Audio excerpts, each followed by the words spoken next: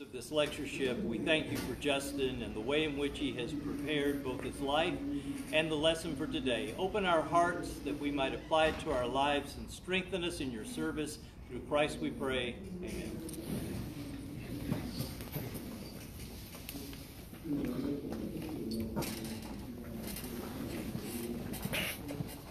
John Paul, I think you left out the most important part of the story, and those students brought donuts to my office that day. Students bring me gifts often, and usually it's uh, sugary food, so I don't know what that says about me, other than I like to eat sweets, but uh, it's great to see all of you here today. If you've been here every session this week, uh, I appreciate your presence, and hopefully something has been said that has spurred you on to think differently about the Word of God or about the passages we've studied. Today we're in Exodus chapter 33, beginning in verse number 17. If you want to be following along in your Bibles, Exodus 33, beginning in verse number 17, as we consider God's revelation to the appointed. We talked about how on uh, Tuesday this passage illustrates what a number of other passages illustrate, and that is we are authorized to approach the throne of God in prayer with audacity. There is nothing wrong with challenging God, even with being angry with God. The Bible authorizes that, although many people today feel uncomfortable with it. We talked about yesterday how God authorizes us to approach Him with anxiety. How we can understand through the study of His Word that the Bible encourages us to leave our burdens at uh, the throne of God and allow Him to take care of those things. But today we're looking at God's revelation to the appointed. God has always had a special relationship with the blameless. Isn't that true? I love in the book of Job how when the book opens, the Bible features Job as a blameless and upright man who fears God and shuns evil. And we're told as a result of that, when the Satan, this role played in the book, shows up and uh, God has this conversation with him, God actually proposes Job as an object of temptation. I wonder how uh, Job might have spoken differently in the book if he had known the content of chapters 1 and 2. Uh, I imagine he would have felt a little bit differently about how and why he was suffering. But it's God who has so much faith in Job that he's willing to put him uh, forth as a subject of temptation. God has always been on the side of the blameless throughout the scriptures. And when we talk about the subject of revelation, that appears even more to be the case. Notice in Hebrews chapter 1, we mentioned this verse just briefly yesterday. Hebrews chapter 1 and verse 1. The Bible opens, and in the original Greek, it's a beautifully rhetorical opening to a book. Uh, Palumaros kai palatropos palai, it says, which means in English something like God who at various times and in various ways. And we talked about how that teaches us that in Old Testament times, God communicated his revelation both unclearly and inconsistently.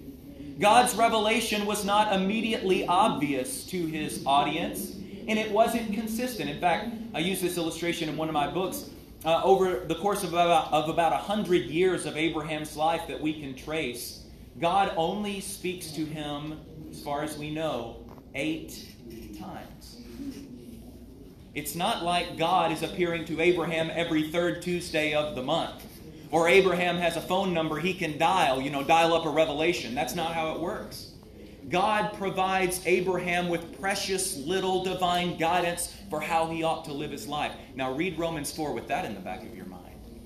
How much the more faithful does Abraham appear when we consider how little he knew of God's revelation? We move on to the life of Isaac, and in Genesis 31 and verse 42, God calls himself the fear of Isaac, despite the absence of any revelation of himself to Isaac. You see, people of Old Testament times often had very little information to go on, but they made the most of that revelation and were as faithful to God as they could possibly be. Now that we have God's total revelation, the faith that has been once for all delivered to the saints, how faithful are we? Are we equally engaged in following His inconsistency of God's revelation just how faithful they were. But notice there was a lack of clarity to God's revelation oftentimes. When, whenever we hear that, it doesn't sound right because we've been trained to think every time God speaks, it's obvious exactly what he means because we grew up hearing God means what he says and says what he means, and there's no way anybody can mess it up. But that's not what God himself actually says. In Numbers chapter 12, for example, verses 6 through 8, and by the way, this passage provides an excellent segue into our context because it represents God describing the special revelation that Moses alone received. How Moses is different because he enjoys a relationship with God that is different. And there are a lot of challenges in this passage, perhaps, but these verses are tremendously meaningful. Numbers 12, beginning in verse number 6. And God said, speaking to Aaron and Miriam, who have raised a rebellion against Moses, Hear my words. If there is a prophet among you, I, the Lord, make myself known to him in a vision. I speak with him in a dream. Not so with my servant Moses. I communicate in visionary formulae. I place an idea in their minds. They can see the word of the Lord, as it were. What's the first verse of the book of Isaiah? Anybody remember how that book begins? The vision of Isaiah. People struggle to figure out if we're reading this book, how can it be a vision? Because God communicated it in a vision. God communicated his revelation typically in this fashion. But notice he says, Not so with my servant Moses. He is faithful in all my house. With him I speak mouth to mouth clearly and not in riddles, and he beholds the form of the Lord. Why then were you not afraid to speak against my servant Moses? It's interesting that God himself takes a special interest in this case and descends to defend Moses, his servant. And he says, Let me tell you about Moses. He is different in his intimacy. Nobody sees the form of God, but he does. Nobody receives the kind of clear, obvious, explicit revelation, but he does. God's revelation to Moses was exceptional in terms of his typical revelation to human beings because he was special. He was appointed by God for this very specific purpose of providing the backbone of the entire Old Covenant, whereby Israel would live, leading us unto Jesus Christ. Notice as we go on, I just messed up something here. Um, there we go. I don't know what's happening. So we're forgetting the PowerPoint. Notice in verse number 17 of Exodus 33, God's commendation of Moses. Exodus 33, beginning in verse number 17. The Bible says, And the Lord said to Moses, This very thing that you have spoken, I will do. For you have found favor, some of your versions may say grace, in my sight, and I know you by name. One of the easiest things we can do to help other people is to provide encouragement. Isn't that true? It is really easy to do. Not everyone can stand before an audience and speak equally well. Not everyone can stand before an audience and lead singing equally well. We have heard some prayers this week that are beautiful masterpieces of the use of the English language. Not all of us can pray that way, but anybody can encourage. And as easy as it is, it is a spiritual gift that is often neglected, isn't it? You even hear people provide excuses for why they don't encourage. I've had people say, and some of you who are preachers, you know exactly what I'm talking about. You've probably heard this before. Well, I would give you a compliment, but I wouldn't want you to get the big head. How many people have heard that before?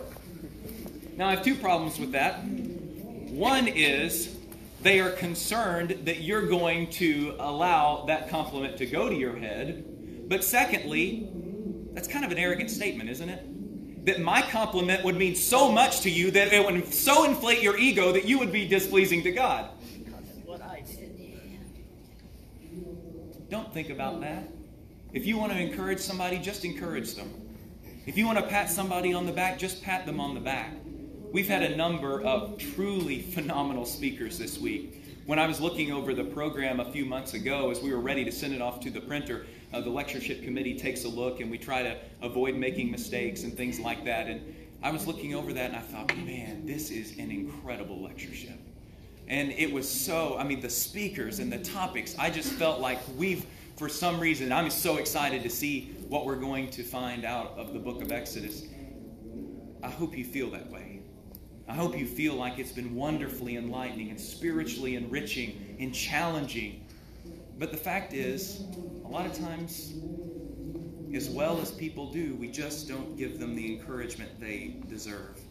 Notice how God doesn't let that opportunity go by. The Bible says that He tells Moses, Listen, this very thing you've spoken I will do, for you've found favor or grace in my sight. Only three times in the Bible do we read this description. Only three times in the Bible is it explicitly said that a person finds grace in the eyes of God. What's the first one? Noah. In Genesis chapter 6 and verse 8, the Bible tells us the world is corrupt. The Lord saw that the wickedness of man was great in the earth, and that every intention of the thoughts of his heart was only evil continually. And the Lord regretted, some versions say, was sorry that he had made man on the earth, and it grieved him to his heart. So what happened? So the Lord God said, I will blot out man whom I've, whom I've created from the face of the land, man and animals, and creeping things, and birds of the heavens, for I am sorry that I have made them. But what? Noah found grace in the eyes. Noah found grace. Some versions say favor in the eyes of the Lord. The second time it is used in the Bible, it is used of Moses in our passage. The third time it is used of Mary, the mother of Jesus, who has found favor. She is the highly favored one, Luke tells us in Luke chapter 1, in verse number 30. She has found favor or grace with God. When Moses is given this description, you have found grace in my eyes. This is an extremely rare description of God's favor with humanity. But secondly, notice Moses is recognized by name. Many of you have probably gone through the Dale Carnegie system. Uh, maybe you've read his book, How to Win Friends and Influence People. One of the principles in that system is this Remember that a person's name is to that person the sweetest and most important sound in any language. One of the things that I tried to do after I learned this is when I'm talking with people, I don't always do this, so if I offend you, I'm sorry. Uh, but I've always tried to call them by name multiple times in the conversation. Now you got to be careful because if you mess their name up, it's worse. because there is nothing more offensive to us than for somebody to get our name wrong. Is that not right? Uh, my name is Justin. Pleased to meet you. Um, people call me Jason a lot. Uh, maybe I look like a Jason. No offense, I like the name, Jason. Glad you're here today. I, I, like that name. There's nothing wrong with that name. It's a perfectly fine name. It's a biblical name. I like the name Jason, but guess what? That's not my name. And whenever people call me that, it just it bothers me a little bit. Has anybody ever been called by the wrong name? Does it bother you just a little bit? When somebody calls you by name, it means something. When they speak your name, it is precious. It is important. Notice God said, Moses, I've called you by name.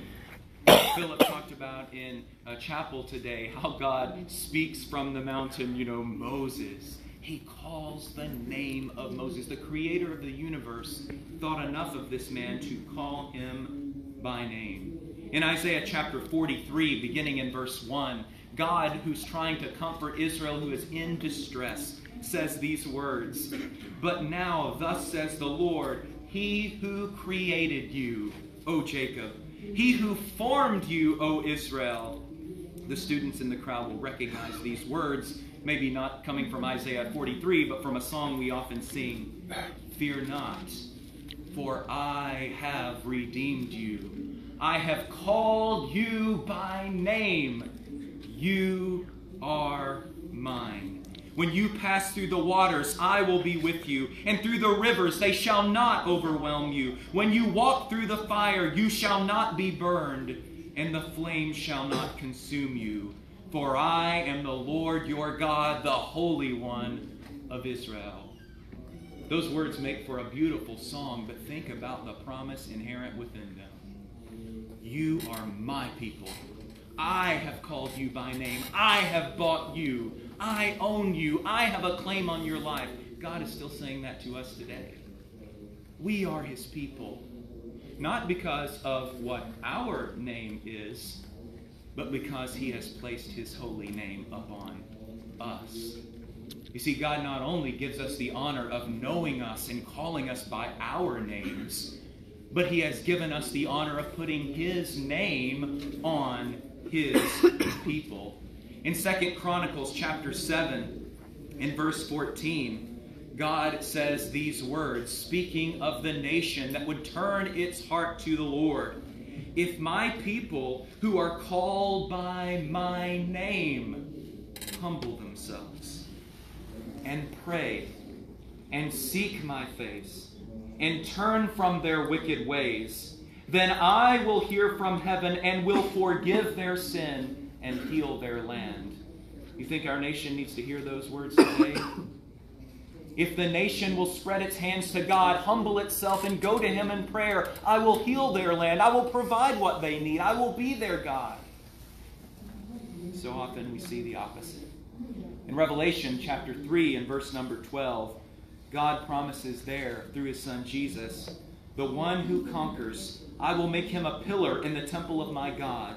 Never shall he go out of it, and I will write on him the name of my God, and the name of the city of my God, the new Jerusalem, which comes down from my God out of heaven, and my own new name. I don't apologize for the name Church of Christ. I don't apologize for the name Christian. And the reason why is it is an honor to wear the name of Jesus Christ and we ought to make sure that we live our lives in accordance with that tremendous honor. God's commendation of Moses was deeply personal. It was meant to reassure him. It was meant to propel him forward through what would not be an easy time as he leads the Israelites into the promised land. But secondly, notice, in order to further reinforce that God reveals himself to the appointed, we have verses 18 and 19 describing God's condescension. The Bible says, Moses said, Please show me your glory.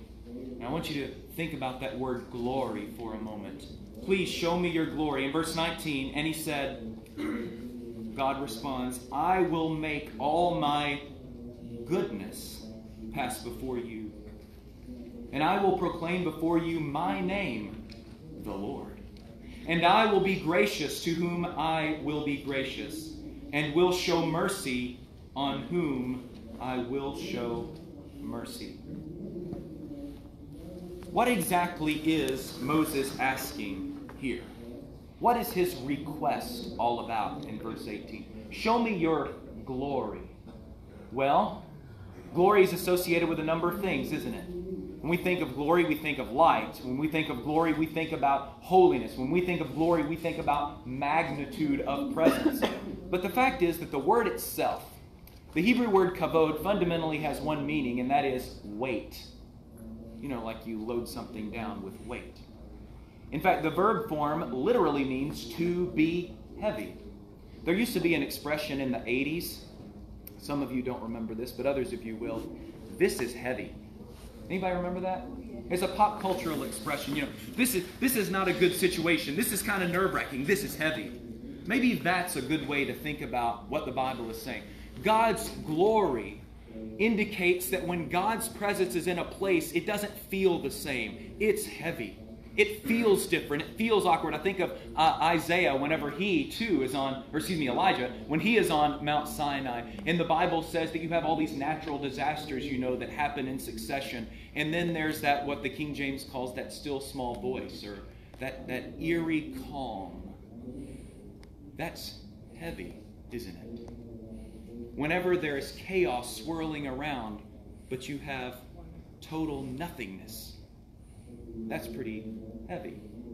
And so maybe Moses is saying to God, Overwhelm me, weigh me down with your presence. Just just smash me in the face so that I so that I will feel everything you are completely and totally overwhelm me.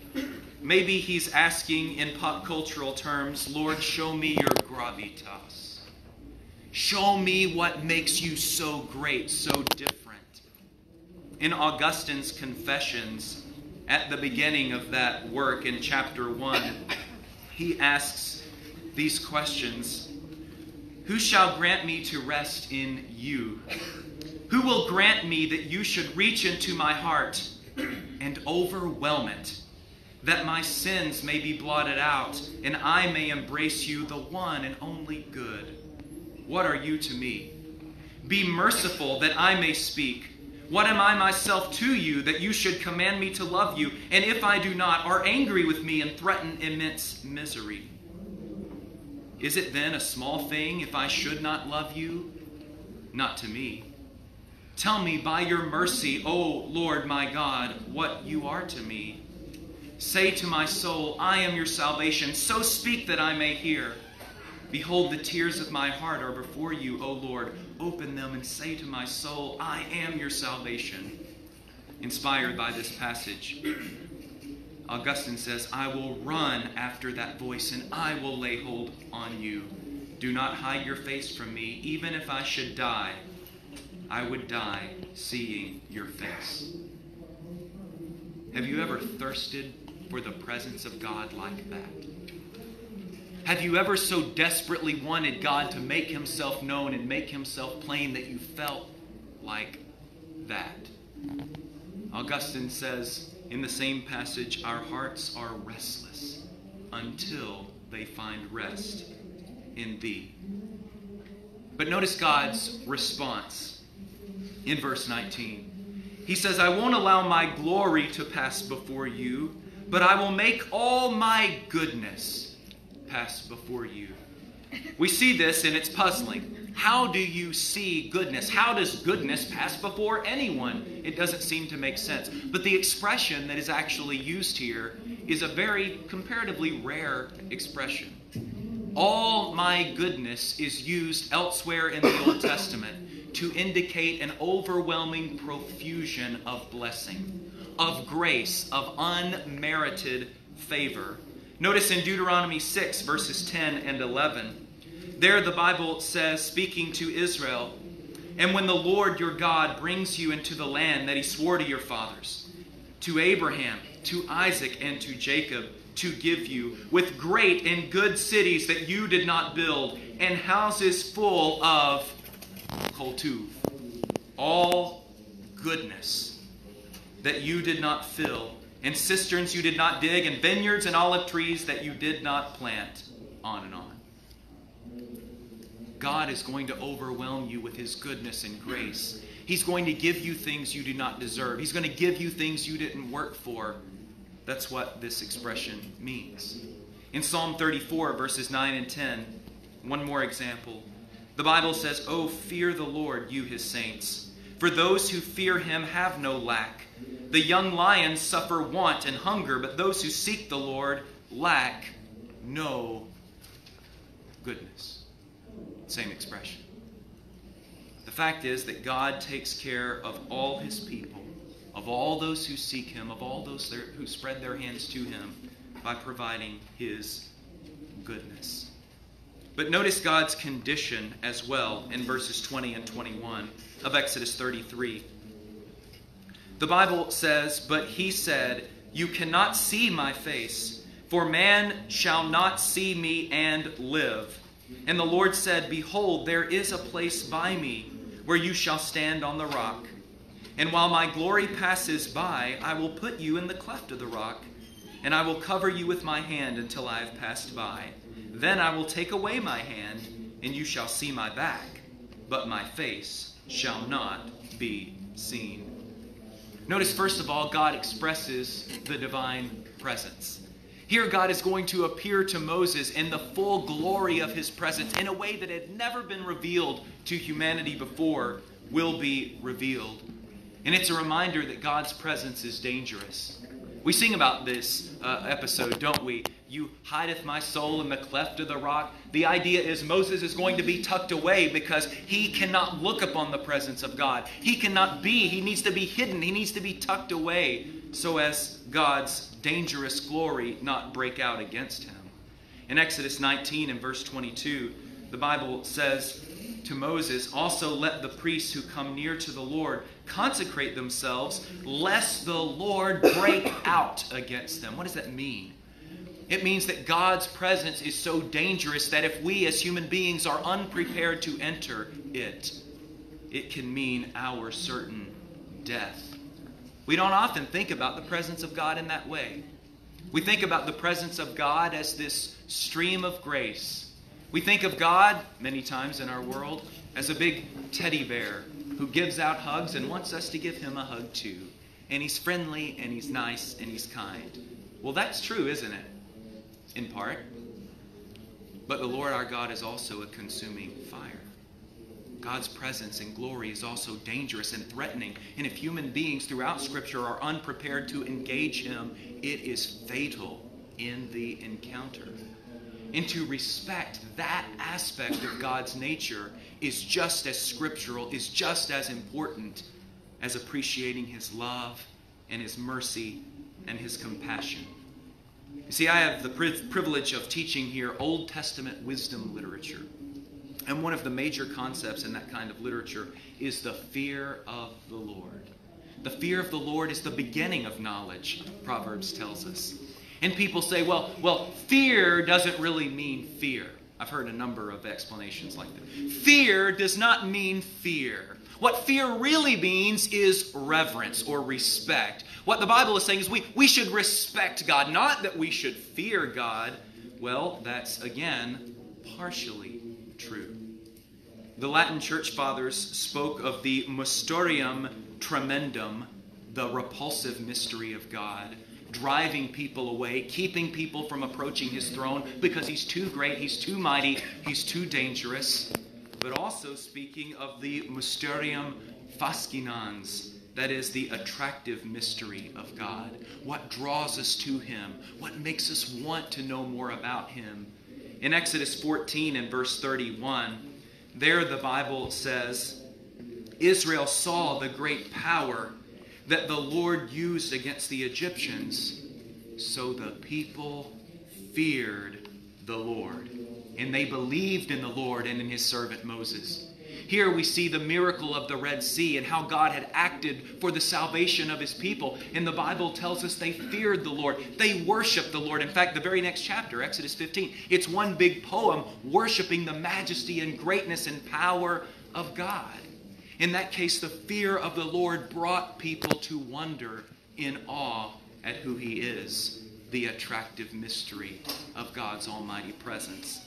But we also find just a few chapters later in Exodus 20, verses 18 and 19, these words Now, when all the people saw the thunder and the flashes of lightning and the sound of the trumpet and the mountain smoking, the people were afraid and trembled. And they stood afar off and said to Moses, You speak to us and we will listen, but do not let God speak to us, lest we die.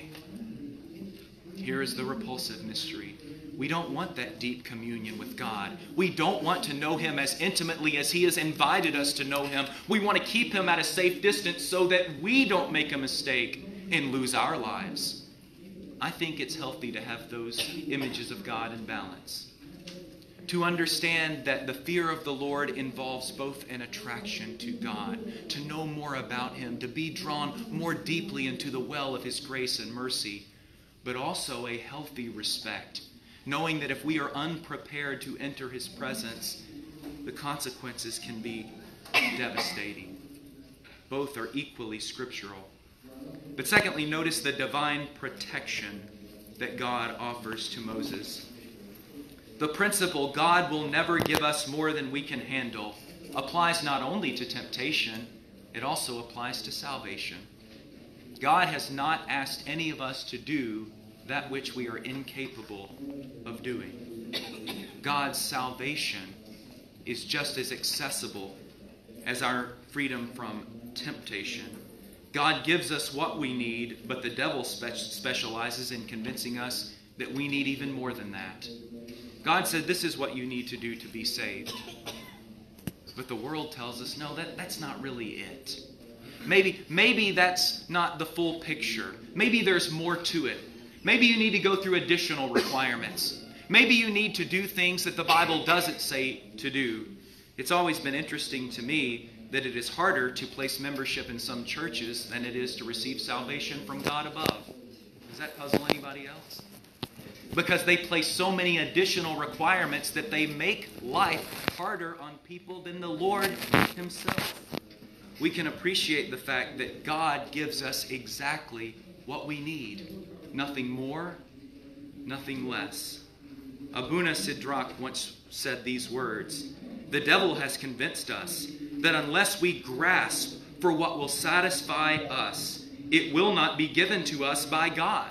That God is not so generous, apparently, as he claims to be. So we fear in our own desperation that we must place our priorities ahead of God's and make our own anxieties and our own neediness greater than our trust in His solitude or His providence.